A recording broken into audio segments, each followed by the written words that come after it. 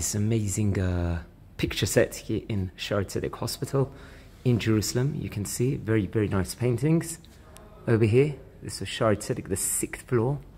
Absolutely spectacular. You can see an owl over here and things ba based in Jerusalem. Very, very uh, a hospital that's been around for more than 100 years. Excellent hospital over here. And this is a child's decorations here.